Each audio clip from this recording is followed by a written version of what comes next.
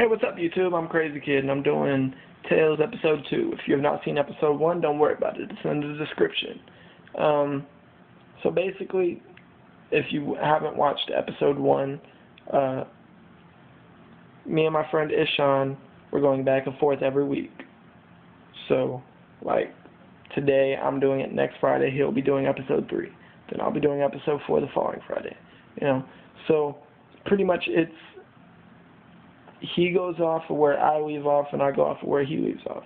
So I mean it could really go anywhere.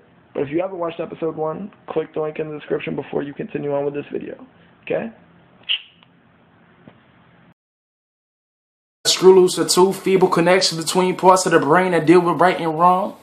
His mother shudders in her sleep and whispers something lightly. Like,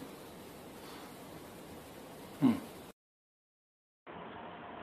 He heard no, please, stop it. So we got scared, started to think it all through. Like, man, this shit is obnoxious.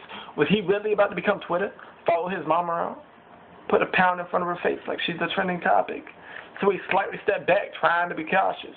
But he slipped up, tripped up, fell over the end table, and landed face first on the hard tile, which awoke his mom. So she appeared startled for a while, but then she seen it was only her son, so she slightly smiled. Until she seen the knife that was just inches away from his hand. She started to panic, she just didn't understand, couldn't comprehend. Like she gave him life, now he's trying to take hers. The thought of it had her stumbling over her words. Her mind drifted afloat. She went paler than a ghost. But then she grabbed the phone, hurrying for an emergency with uncertainty. She didn't even let the man speak. He was like, 911, what? My son, is trying to murder me. But before the police showed up, Tommy left the scene, running through the woods with only seconds in between. The cops are slowly searching the ravine. But now the effects are kicking in. His shit was laced. He's stumbling. The thoughts are falling from space.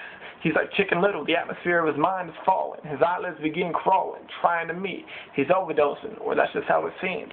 Because his head start that he had, yeah, he's lost all them seconds in between.